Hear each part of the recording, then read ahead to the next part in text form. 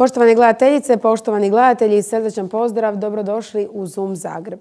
Večeras ćemo predstaviti e, učilište za obrazovanje odraslih IDEM. Izuzetno su bitni za sve one e, kojima je potrebna pomoć u nastavi, a oni su danas i bili u ministarstvu. E, u studiju pozdravljam profesoricu, doktoricu znanosti Ljiljanu Igrić, predsjednicu Učilišta za obrazovanje odraslih IDEM. Lijepi pozdrav, dobro večer, dobrodošli. Dobro s nama je Klara e, Matejčić, e, magistra rehabilitacijske edukacije, predavač na konferenciji. Lijepi pozdrav, dobro večer, dobrodošli. Dobro večer. I Matea Marinčić, također magistra rehabilitacijske edukacije, predavač na konferenciji. Lijepi pozdrav, dobro večer, dobrodošli. Kolegica Matea Ćorić je u rujnu mjesecu radila prilog vezano upravo za predavače na nastavi, pa pogledajmo što je tada snimila. Treba ih imati svaka škola, ali ima ih tek svaka treća ili četvrta. Pomoćnici u nastavi prijeko su potrebni u Hrvatskoj. Ima ih oko 3000, ali potrebe djeca s poteškoćama su veće. Da bi se to promijenilo, Centar inkluzivne potpore IDEM pokrenuo je projekt Pomoćnik u nastavi u inkluzivnom obrazovanju. Želja im je senzibilizirati javnost o ovom problemu. Koja je zadaća pomoćnika u nastavi, koliko oni znače za djecu i roditelje, Zašto su prijeko potrebni u svakoj školi? Godinu dana tražili su se odgovori na ova pitanja. Rezultati istraživanja pokazali su da... Svi oni pomažu najviše u učenju, što je uloga, jer se kaže pomoćniku nastavi. Znači on nije predežno za kretanje, dakle zato postoje u svijetu osobni asistenti, može oni to obavljati kad treba, ali pretežno je to pomoć u učenju ali taj asistent ne bi smio biti priljepljen samo za jednog učenika, baš zato da se ne radi razlika. Od razreda treba stvoriti inkluzivnu cjelinu. Kod dobrih učitelja je prekrasno. Oni doista naprave jedan inkluzivni razred u kojem pomoćnik ima svoje mjesto i oni zajedno puno toga odrađuju i to je perfektno. Međutim, e, dio učitelja još nije naviko se na pomoćnike, sve više i više ih se navikava, ali onda se tu dešava da zavisno razmišljanju škole, rukovodstva, pa i možda i županije i grada koji to organizira, dobiju neke instrukcije kao na primjer to je samo za rad sa učenikom s teškoćama, ne smije sa drugima e, surađivati. U izradi je i pravilnik o pomoćnicima u nastavi, a on bi trebao jasno definirati koji je njihov posao, ali i kompetencije koje asistenti trebaju imati. Danas vidim u praksi da ima još pomoćnika koji nemaju, asiste, koji nemaju edukaciju, mnogi od njih doživljavaju te posao kao privremeni dok ne nađe drugi posao. Ovaj projekt počeo je u rujnu prošle godine, u njemu je sudjelovalo šest škola, a cjelokupni rezultati istraživanja prezentirani su na konferenciji koja je održana u Ministarstvu znanosti i obrazovanja. E pa na samom početku, e, gospođo Igrić, kako je bilo danas na toj konferenciji u ministarstvu? E, što kažu na rezultate koje ste im prezentirali? Pa ja sam jako zadovoljna sa rezultatima. Moram reći da sam u prvom redu jako zadovoljna sa prekrasnim prezentacijama mojih mladih suradnica e, koje su evo, cijelu godinu dana radile sa mnom. Dakle, i terenski posao i poslije veliku analizu. Tako da je nama danas ovo bila ona točka na i, ta konferencija koja bi imala svrhu ne samo da mi pokažemo do čega smo mi došli, nego da u našim zaključcima, u pokazateljima, e, damo do znanja, ne da damo do znanja, nego inzistiramo da u pravilniku koji se sad radi o pomoćnicima i u standardima o zanimanju novom pomoćnici stoji ono što e, je bitno za, kako mi kažemo, i to se danas u svijetu govori o inkluzivni pristup. Zapravo da dijete s teškoćama se ne osjeća u školi opet različito jer ima mhm. pomoćnika, on sjedi uz njega, nego da je on dio razreda, a pomoćnik je sa svima. Evo i to e, smo mi danas kroz naša izlaganja govorili. Imali smo jako jednu e, dobru profesoricu iz Bristol University koja je govorila o velikim istraživanjima u Engleskoj, kojima je već jako puno.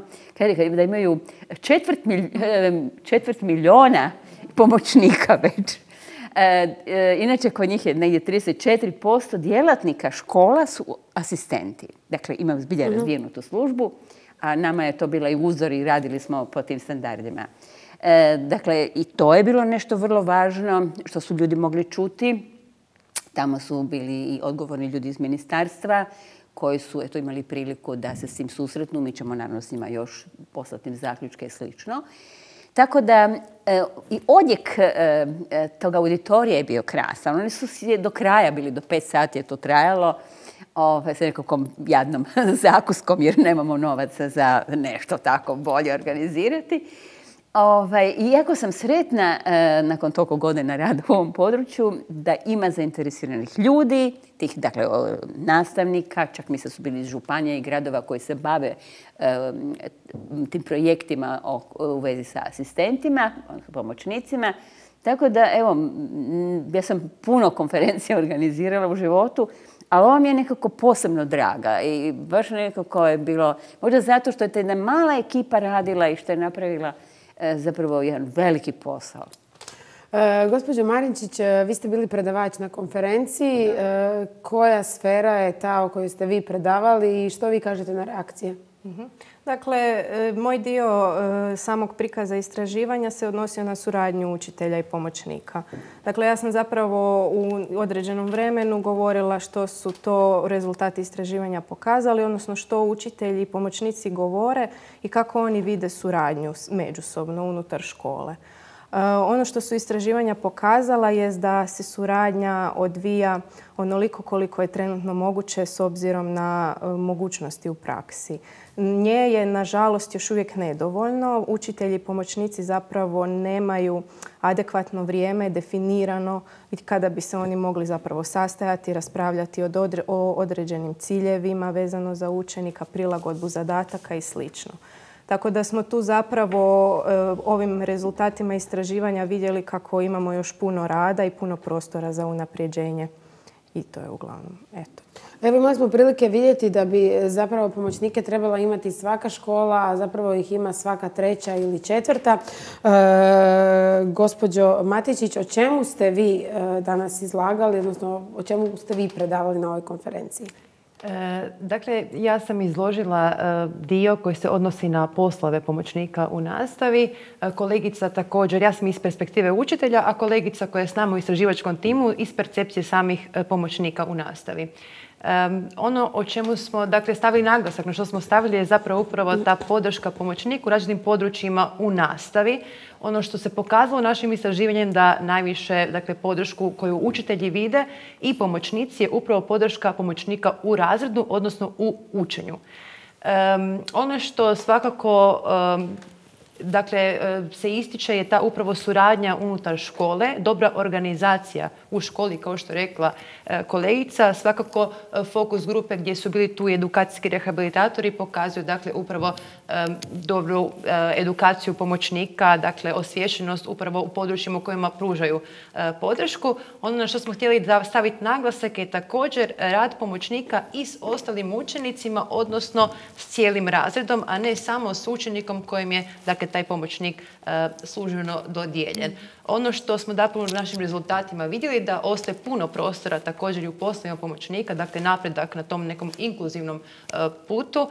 E, dakle, učiteljima je potrebna edukacija, odnosno supervizija o zapravo ulozi i poslovima pomoćnika, a samim pomoćnicima, dakle, dobra edukacija, odnosno osposobljenost za rad. Evo, ja pozivam sve gledatelje e, kojima djeca idu u školu, a trebaju pomoćnike ili oni koji imaju e, pomoćnike, e, njihova djeca, da nam se jave u emisiju da čujemo iskustva. Gospođo Igrić, idemo malo predstaviti učilište za obrazovanje odraslih idem. Koliko dugo već postoji, na čemu vam je najveći fokus i kako, koliko zapravo ljudi marljivo radi na ovakvim projektima? i slično, da kako. Da, e, ja vam e, pokušat ću u paketu nešto reći o učilištu, e, ali ću morati zajedno sa Centrom inkluzivne potpore IDEM, dakle nevladinom uh udrugom, Centar inkluzivne potpore je, sad mu je 25 godina da je osnovana. I bavimo se isključivo inkluzijom, znači podrškama školama da bi mogli učenici s teškoćama ih polaziti. A učilište je osnovano 2010. E, godine. Znači sad mu je već e, osam godina. I bavi se edukacijom pomoćnika, nastavnika, e, stručnih suradnika, dakle svih koji su vezani uz školu. E, zapravo pokazalo se u, Centru inkluzivne potpore da jako nedostaje taj dio. Podrška kroz edukacije za nastavnike. nastavnici, ja ću se opet o nastavnicima, odnosno učiteljima, oni završe svoj studij. I dalje kad se usavršavaju, usavršavaju se u predmetima. Povijest, matematika. Ali oni imaju zadnjih 30 godina učenike s teškoćama u, školi. I do sad nisu baš pokazivali neki veliki interes, niti im je bilo organizirano za rad sa djecom s teškoćama. Tako da oni kažu, mi to nismo, mi to ne znamo, mi o tome nismo ništa čuli, kao jel, peremo ruke nije danas kod svih naravno tako, ali dio njih kaže ne, pa ja to ne znam. I sad e, se djete dođe s teškoćama, ima učitelja koji to ne zna i naravno da to treba određeni seminari, edukacije da bi ovaj, e, stekli znanja. Ono što mi je jako žao, često put kad smo dolazili u škole, e, nisu baš bili učitelji zainteresirani. Zašto? Ono, čita novine, pa zato što ga je neko prisilio da dođe tamo, a nije došao iz toga ja bi nešto naučio kako da ja bolje radim svojim učenikom. Zašto je tako? Zato ja ću biti vrlo nezgodna sad, što sam i danas rekla. Naša država i naš narod još uvijek je na jednoj, ja neću reći primitivnoj razini, ali ta razina nekakve civilizacije još je... U kamenom dobru. još sam je predaleko otišla. vrlo nisko je. E, znate, ja si to mogu dozvoliti nakon toliko godina. Da se to ne može maknuti, da mi moramo svakog procjenjivati. Ovo je vrijedio volko, ovo je vrijedio onoliko. Roditelji koji dobiju dijete s teškoćama, tu nevolju koju oni doživljavaju od rođenja djeteta, ako uzmo dijete sa Down sindromom, kaže mi nedavno jedna moja susjeda, e, da bi pobjegla iz te Hrvatske, otišla bi negdje u svijet da je bolji stav, jer ti pogledi okoline koje pogledaju, jel pa samilosno, Dakle, to A čovjek je... bi pomislio da smo u 2018. nekako maknuli stigmu mm, sa svega. Da. E, eto, i takva je klima zapravo, da ta djeca, ona jesu u školi, ali imaju još uvijek učitelja koji misli, oj, jadan, šta mi tu dolazi, samo mi ometa rad, ne? E, ja, često se na mene uljute učitelji kad ja tako govorim, jer vjerojatno veliki dio, većina ne misli tako. Ali dovoljno je paziti da djecu za gorče život jedan takav učitelj ili dva učitelja, što u višim razredima se lako dešava. Oni kažu, evo, daj, daću dva tom djetetu, to dijete ništa ne nauči onda iz tog predmeta. On dobiva dva i time on rekao, nikome više neće gnjaviti. Dakle, to je jedna ja ne znam koliko su, da li su ljudi svjesni, da li ovi koji inače rade u školama znaju zapravo svoju okrutnost. Pa ne može svaki čovjek odlučiti u školi, on je zaposlen, dobije novac, dobije kakav dobije. Ali da on odlučuje s kim će raditi kako. Ja imam jedno zgodno iskustvo od pred puno godine, 30 godina ranije, kad sam bila u Americi, posjećivala neke škole ja sam gledajte, naši nastavnici dosta otpora pokazuju, ma kako im se ne da baš raditi s teškoćama. A meni kaže ova nastavnica, pa gledajte, ja isto rađe radim sa darovitima, ali moj je posao da radim i sa djecom s teškoćama. Ja to odrađujem sve kako treba. Dakle, je to demokracija? Da može nastavnik odlučiti šta, šta će raditi ili šta neće? Pa niko ne bi smio na svom poslu odlučivati šta hoće, šta neće. Ima nekakve hijerarhije. Apsolutno, da ima jako puno još toga što se treba odraditi u školstvu. Ja se nekako najviše ne volim pričati o ravnateljima. Svi će me mrziti kad ovo sad kažem. E, riba smrdi od glave, je li tako? Uvijek je tako. Uvijek je tako. Iako je pravi ravnatelj, ta škola će imati jedno ozračje, ugode, E, neće biti ljutih, nesretnih ljudi, ako ih on svaki dan dočeka ili ona sa osmijehom i pohvali za njihov rad. Dakle, ravnatelj mora znati raditi s ljudima, mora biti komunikativan i mora imati stvarno suvremene stave. Ja sam upoznala niz prekrasnih ravnatelja sad u okviru ovog eksperimentalne škole koja se provodi, koji tako dobro rade. U jednom Vukovaru, kad čujete što sve ima jedna ravnateljica, kako ona sve to vodi, to vidite da je žena rođena da bude ravnateljica. Međutim, nažalost, nisu svi takvi. I onda ta djeca koja dopadnu takve škole na veliko pate. A učitelji u takvim školama da rade što hoće. Ma, vjerojatno nije tak strašno, ali ja sad moram... Vi kažete nije tak strašno, e, mnogi su ogorčeni e, na e, prvo onu fantastičnu reformu obrazovanja od koje, koje se malo priča, pa se staje, pa se priča, pa staje, pa se ništa ne radi, jer onda se moramo baviti nekim drugim reformama, prosvjedima, ali zapravo sve nam stoji. Ono što sam vas htjela pitati, gospođo Marinčić, pomoćnici, zašto ih, evo, Ponovit ću podatak, dakle treba ih svaka škola imati, zašto ih ima svaka treća, četvrta? Nema li ljudi ili nema novaca? To je uvijek onda ona opcija eh, gdje, gdje najčešće leže odgovori kod u politici jednostavno nemamo novaca. Pa ja bih zapravo rekla da su oba razloga točna. E, pomoćnike zapravo još uvijek nedovoljno financiramo i ono što se između ostalog na današnjoj konferenciji govorilo je koliko zapravo su pomoćnici plaćeni za svoj posao, a doista rade jako puno i puno se trude. Tako da sama, sam posao je doista podcijenjen što se tiče toga. S druge strane, ono što smo danas također zaključili je da je e, zapravo sad sve manje pomoćnika. Manje ih se prijavljuje na natječaj, odnosno e, prijavljuje za posao. Tako da možemo reći da dolazi jedno razdoblje gdje ćemo zapravo morati doslovno tražiti pomoćnika u nastavi koji će odrađivati posao. Dakle, Ako tu... ne isela se iz Hrvatske prije toga. Naravno, i to je isto jedan od faktora koji vjerojatno utječe na to, ali ono što bi također htjela istaknuti je da se nedovoljno zapravo radi na samoj promociji zanimanja pomoćnika u nastavi. To ono što su pomoćnici također istaknuli u ovom istraživanju je da ih se nedovoljno cijeni. Naravno, ovdje svi radimo i ovdje nam je u interesu potreba djeteta, odnosno potreba učenika.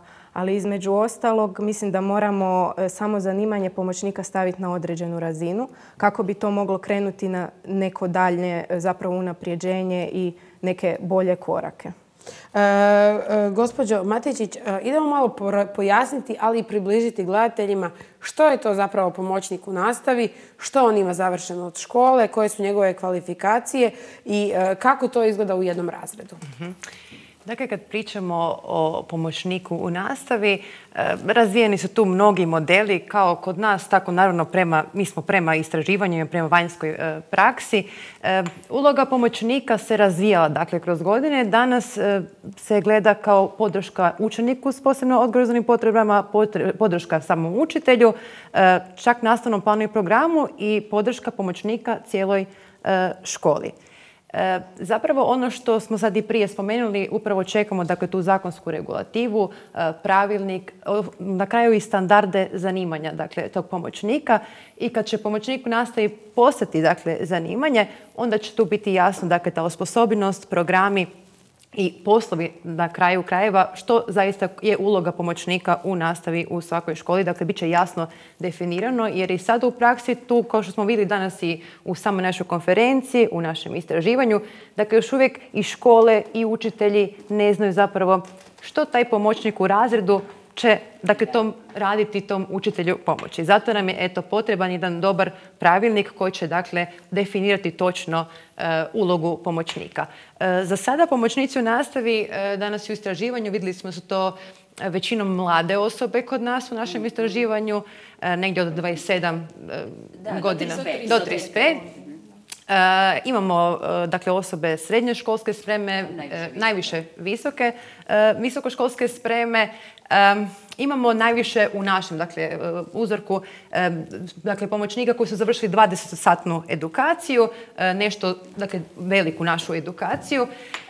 I zapravo imamo i velik broj pomoćnika koji još uvijek nije osposobljen, odnosno nije završio nikakvu edukaciju, nego je počeo dakle, raditi e, posao pomoćnika iz različitih razloga. Ono mhm. što i u našem istraživanju i u današnjoj konferenciji, dakle upravo ta taj interes za pomoćnika u nastavi. Dakle, neki to odrađuju zato što ne mogu naći posao u profesiji, pa često tu dolazi i do brze promjene pomoćnika.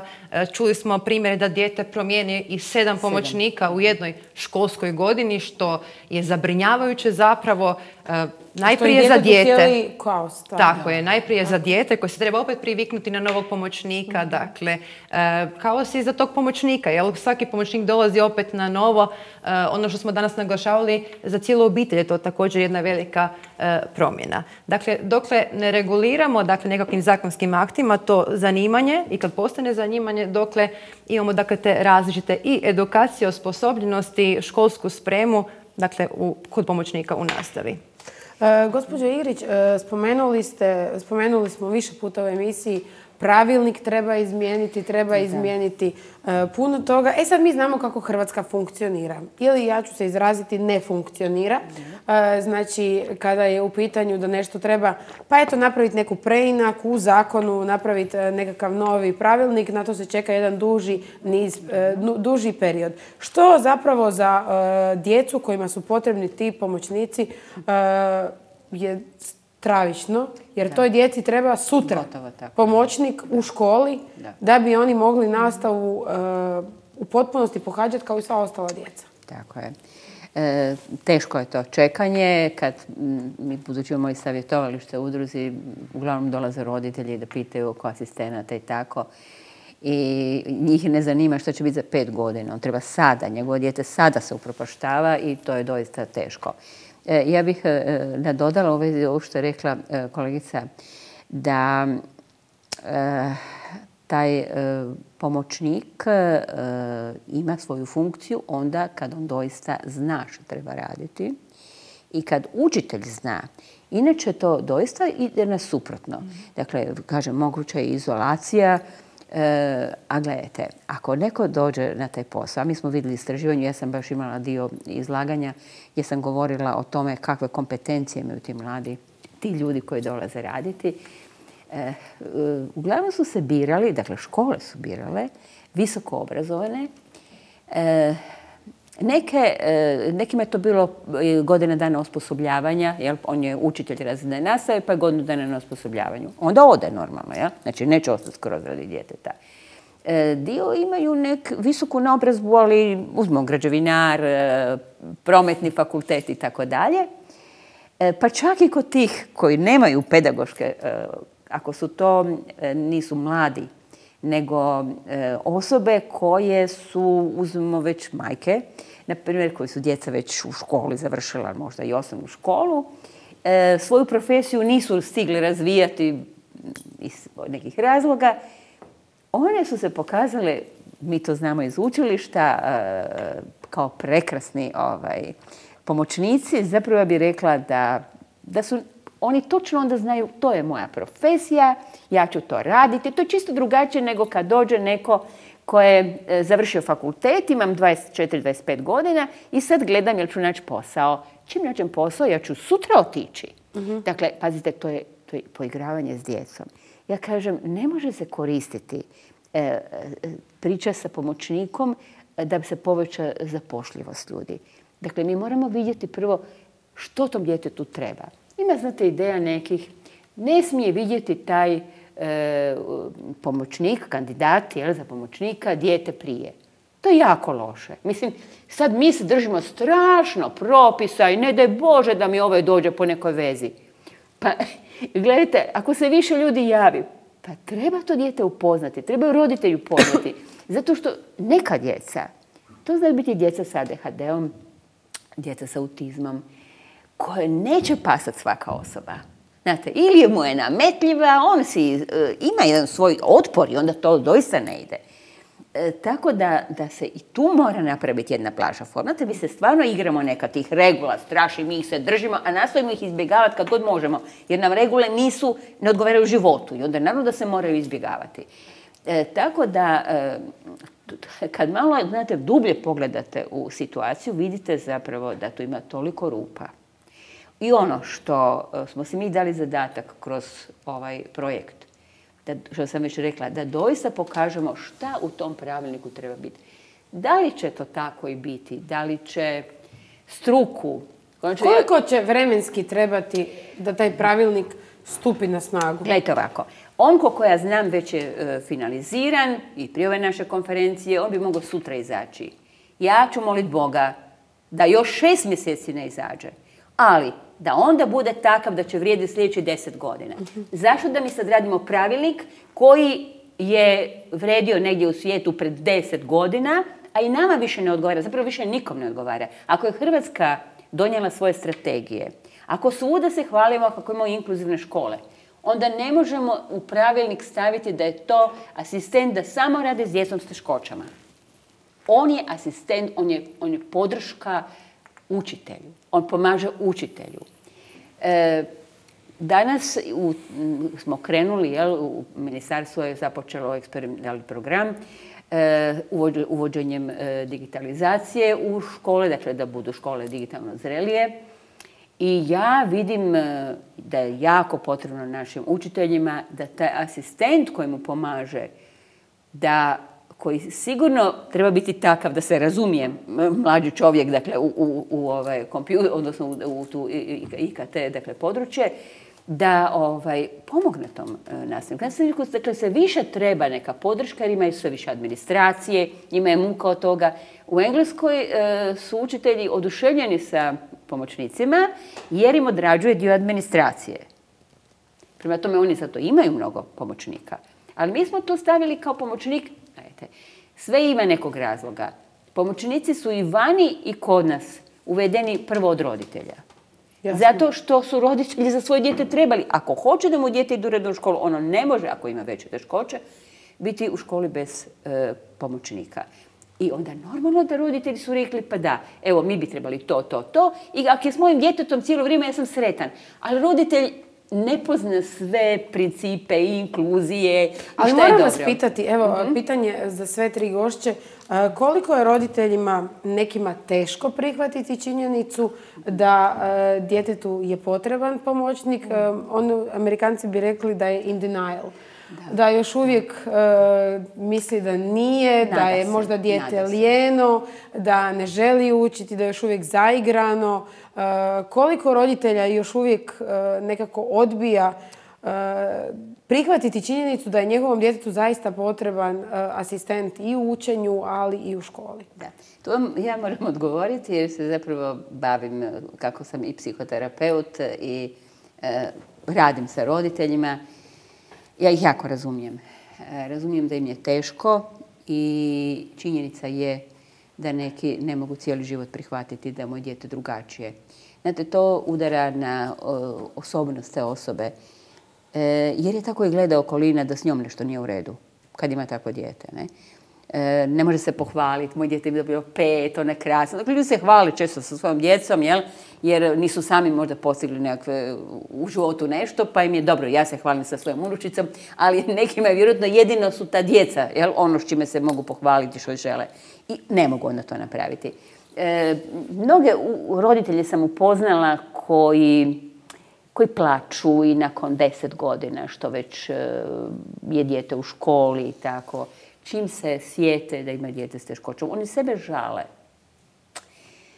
E, gledajte, nekome je to doista jako teško. E, kad sam razgovarala s roditeljima, obično volim da mi dođu oba dva roditelja, i mama i tata. Mhm. Ne želim samo razgovarati sa mamom, i obično je to tako da mama dolazi, ona brine o tome, ona sve znade, a tata stoji po strani, on se bavi poslom, neki se bave jako puno poslom, onda kao preskrbljuje za obitelj, a zapravo bježi od situacije. Bježi od problema. Kao da je očevima, čini mi se, to još teže da se nose s time.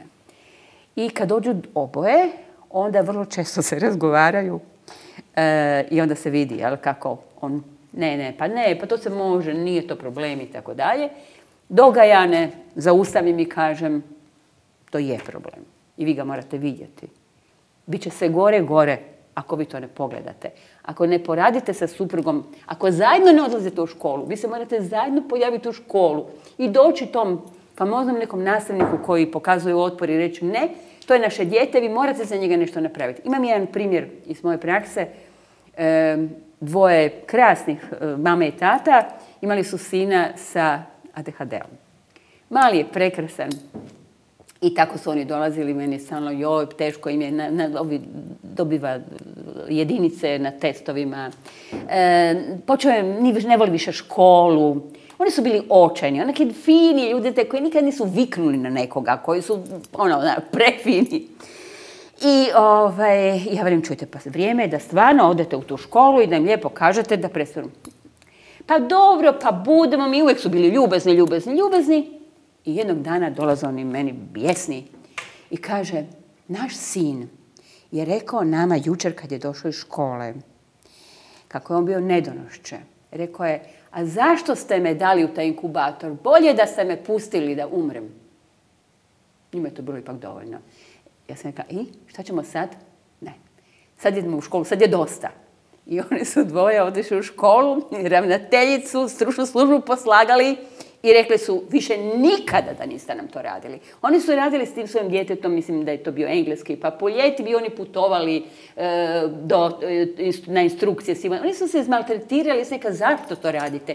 Pa moramo udovoljiti školi, znate, to škola traži. Od onda više nikad nije bilo to.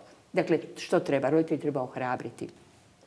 E, pomoć je upravo u tome da ih se osnaži, da one osjete kompetenciju, da te osjećaj krivnje bude što manji. Ne možemo mi zamjerati roditelju što se on stidi. Živi tu gdje živi i tako je, tako je to. Ali bi trebali, kod nas je sramota ići na psihoterapiju isto, ne? Pa onda šta ću se U Americi to stvar prestiže. Pa, naravno, čujte, pa svakom čovjeku to treba, mislim. Uvijek dođete u nekakve krize, imate potrebu za svoj osobni rast i razvoj, mislim. Tako da, da to je jedna higijena. Ne? Apsolutno higijena koja je, tako je.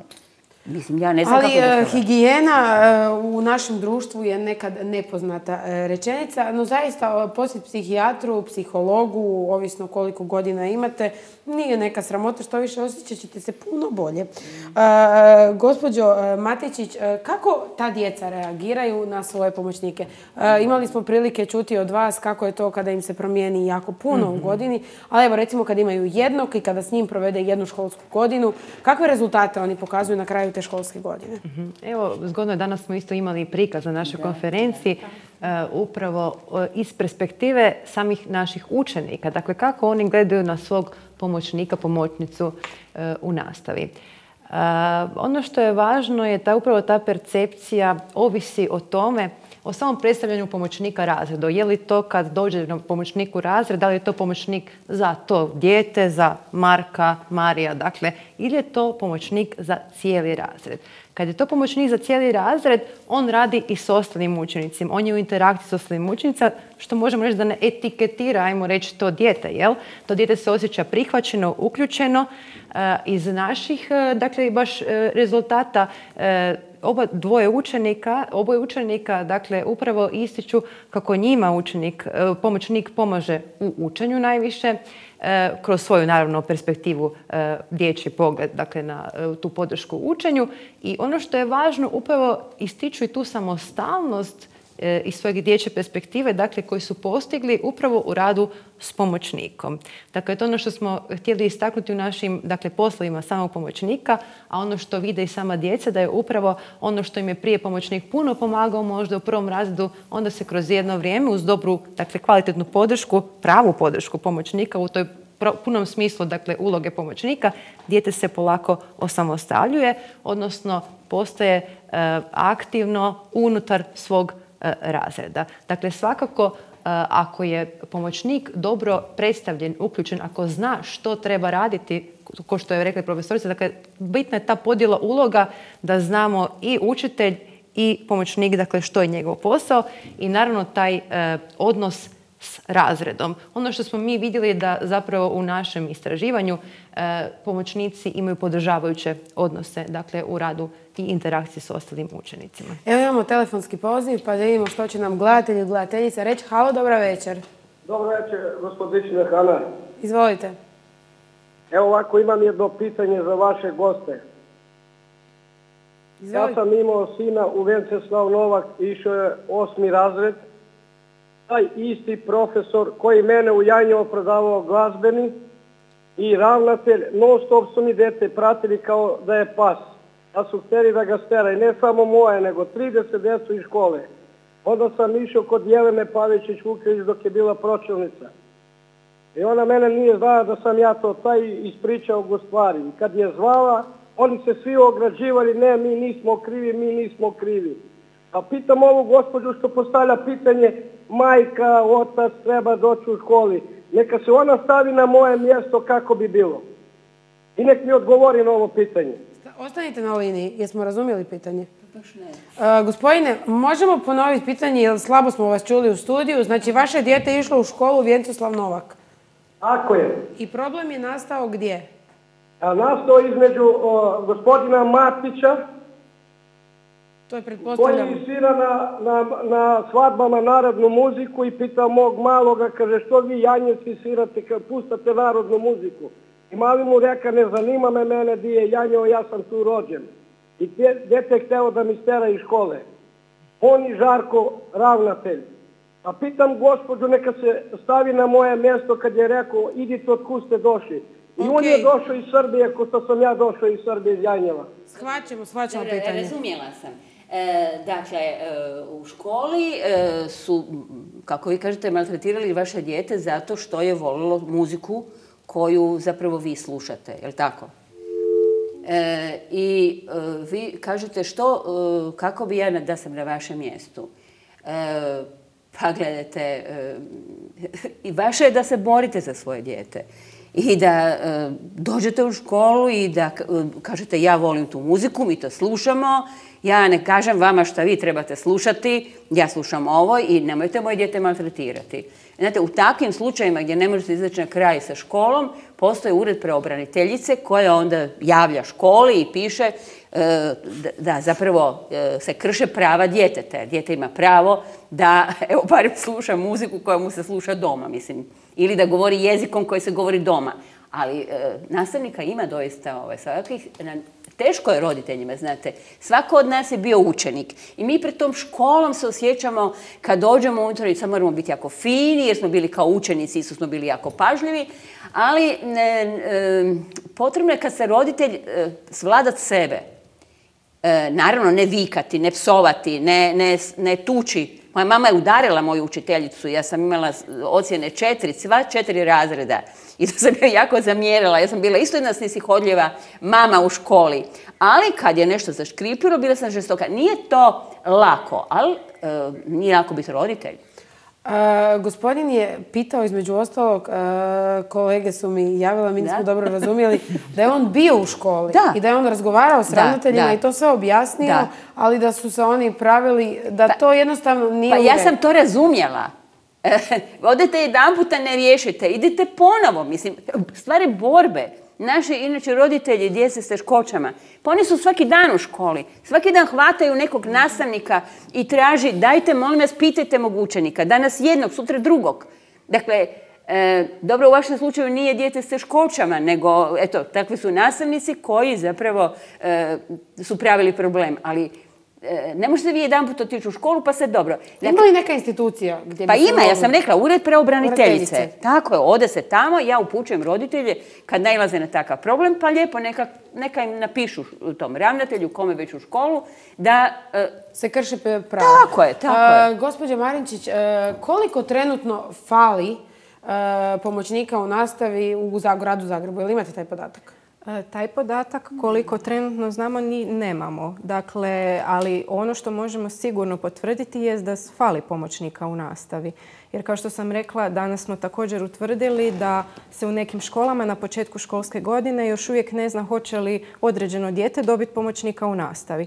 A na primjer nastava počinje 3.9. dijete kreće u školu, ne zna se da li će imati adekvatnu podršku onda dođe, eventualno se nađe neki pomoćnik, ali upravo zbog ovih faktora koji smo rekli, dođe neki student ili absolvent, e, netko koji je u potrazi za poslom, radi mjesec dana, taman je upoznao učenika, dijete i zapravo je našao posao u svojoj struci ili neki bolje plaćen posao.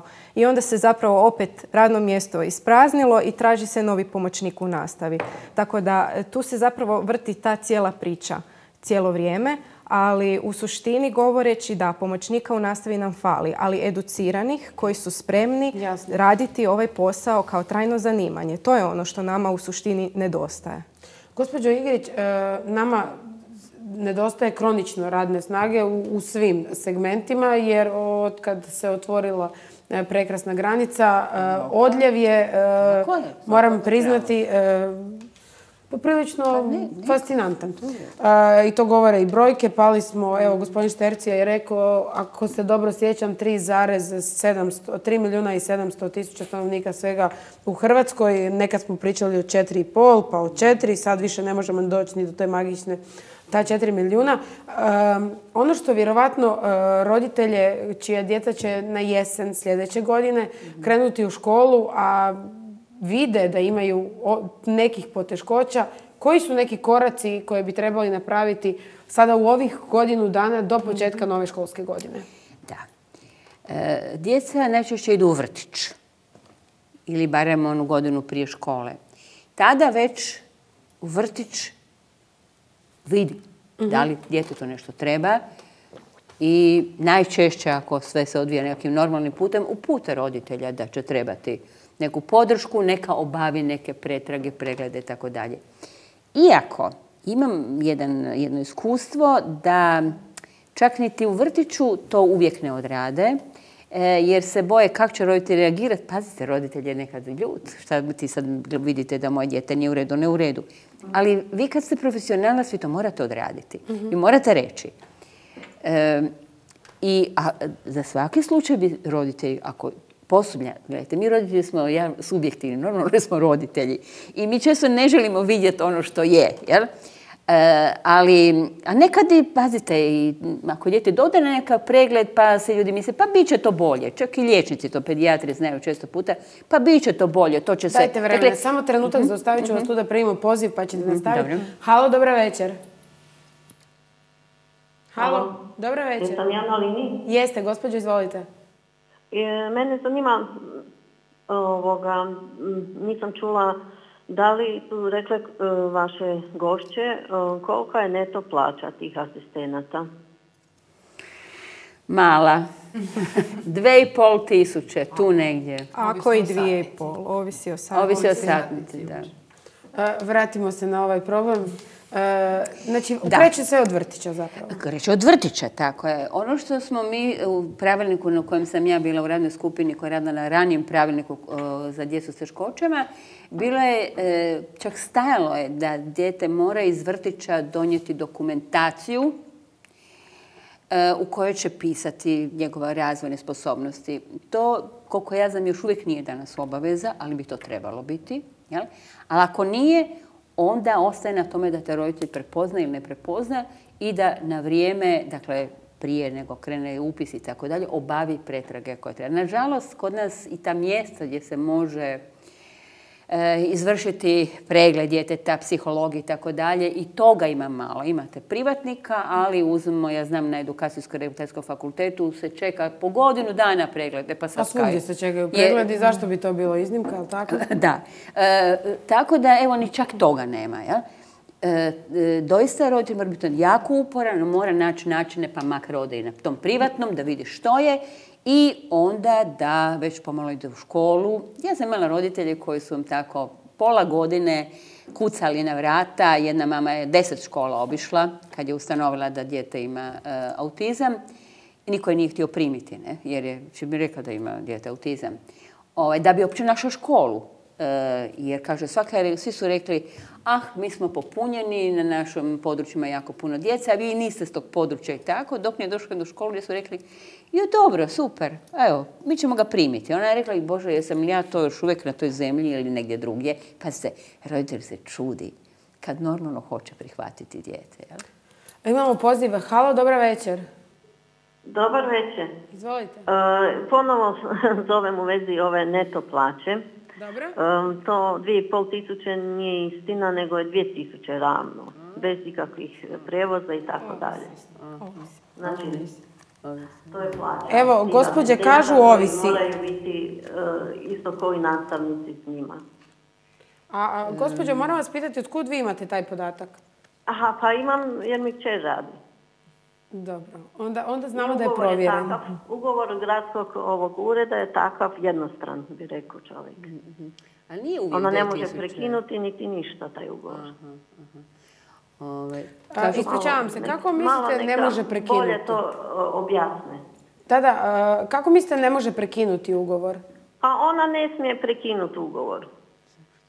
Mogu samo e, gradski ured e, prekinuti ugovor. Dobro, evo pokušat ćemo sad Kako to. Molim? Ne razumijemo kako je moguće da ne može... ne pričaju, pričaju samo o problemima Dobro, ali je gospođo, dajte nam malo više detalja da bi na, vaš, naše, go- moje gošće večeras... Pa neka vele kako je gradski ured to složio. Gradski ured za zdravstvo. Ugovore i koliko je e? Za obrazovanje. Za obrazovanje, gradski ured za 2000 obrazovanje.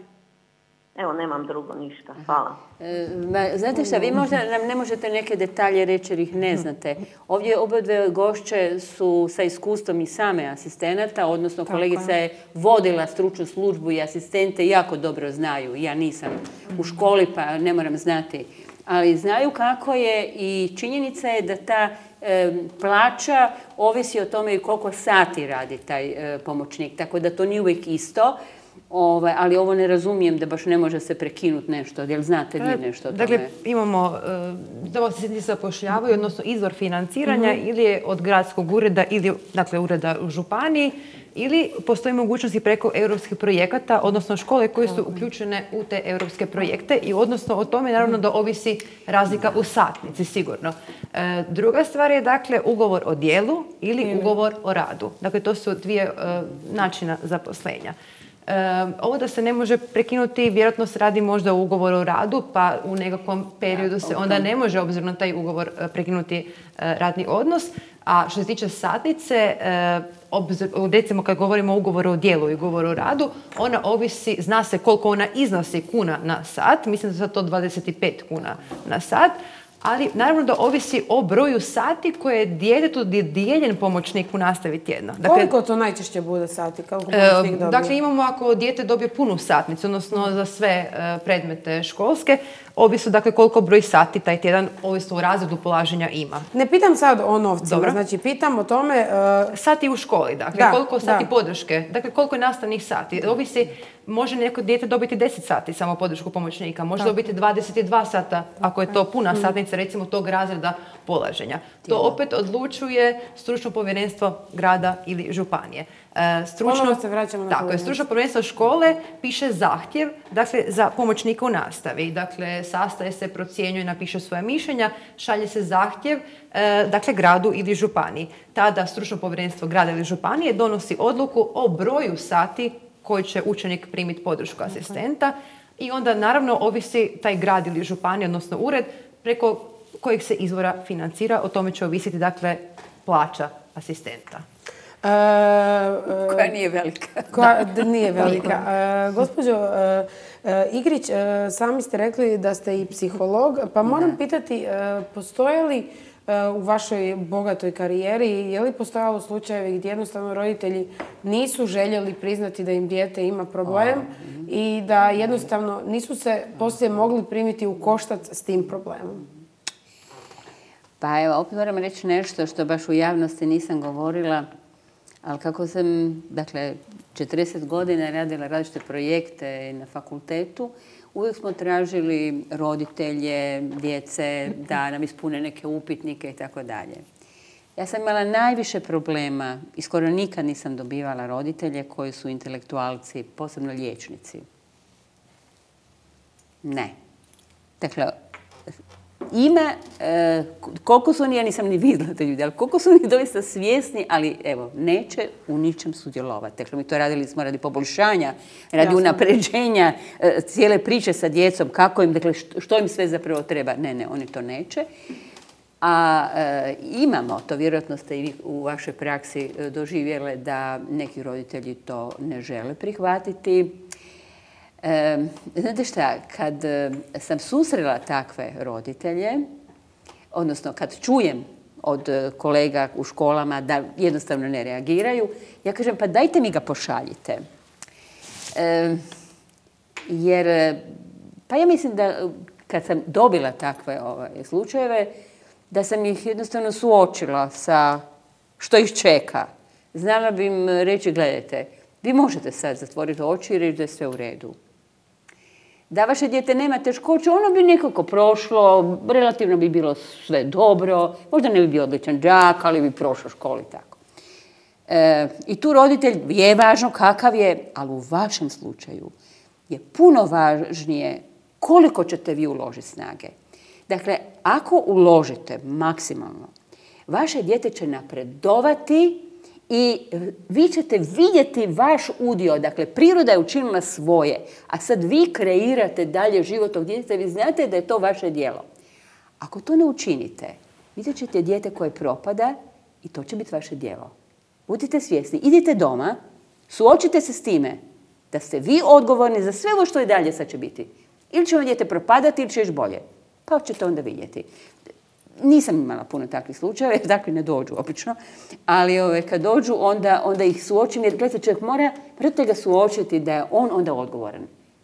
Može zatvoriti oči, može sve, ali kad ja se nadam da... Gospođo Marinčić, e, a idemo sad malo u praksi. Postoji li, e, recimo, da je djetetu dodijeljen pomoćnik, kada roditelj dođe i kaže mom djetetu to ne treba? Naravno da postoji, imamo i takvih primjera, ali ipak je više onih koji, e, roditelji koji zapravo prepoznaju kako je pomoćnik u nastavi potreban. I da zapravo sam e, primjer, odnosno kad učenik krene u školu, da vide da e, usvajanje nastavnog gradiva je otežano i da zapravo ipak postoji veća osviještenost oko toga da će trebati određena podrška pomoćnika u nastavi. Tako da u suštini roditelji vide, prepoznaju oni koji su spremni izboriti se i aktivirati oko toga, e, definitivno će biti zainteresirani i zapravo se izboriti za dijete i da e, dobiju podršku pomoćnika u nastavi. Kako vi vidite budućnost e, ovog projekta? Nakon danas na konferenciji nije bila ministrica. Mm, nije ispred bila je, ali bila je pomoćnica ministrice, gospođa Lidija I državna tajnica, mhm. gospođa Ramljak je bila. Kako vidite vi e, budućnost vašeg projekta, budućnost pomoćnika u nastavi? Evo, od svih ću pomalo, smo već nekako na kraju emisije, mhm. pa da to ujedno budu i završne riječi. Pa evo, kao što smo danas i prikazali i čuli vrijedna iskustva, ne samo naše istraživanje, nego vrijedna iskustva e, naše prakse, dakle naših učitelja, pomoćnika u nastavi, samih i koordinatora, dakle u našim školama pomoćnika.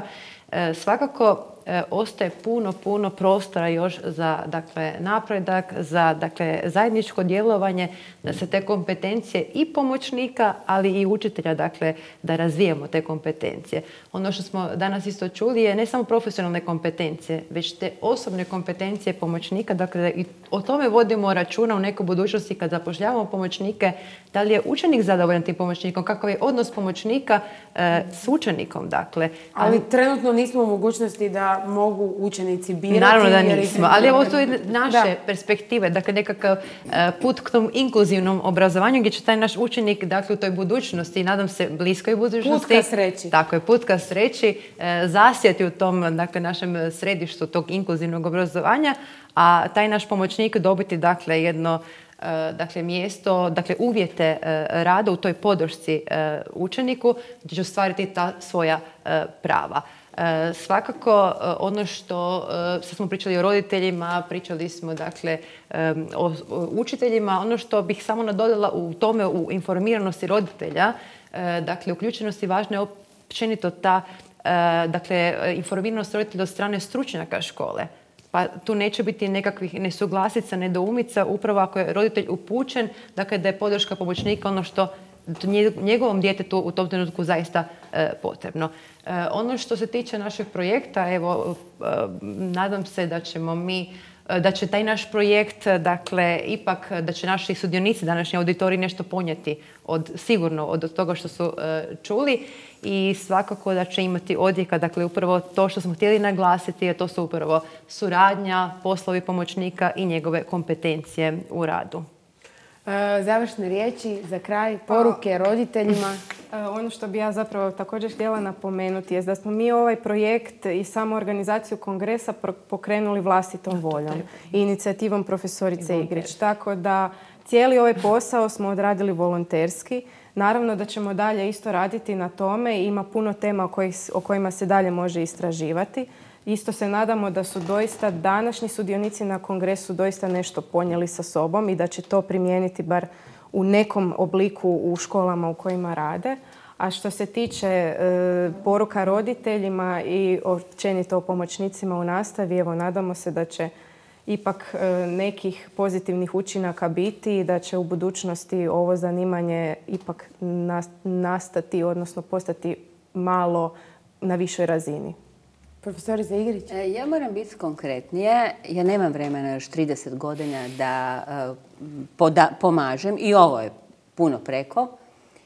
E, ja očekujem, dakle, nada umire zadnja, posljednja, da e, Ministarstvo znanosti i obrazovanja i sadašnja ministrica i njezini suradnici da će čuti ove naše rezultate. Oni su čuli, jel? ali da, da će ovaj, još se pozabaviti time.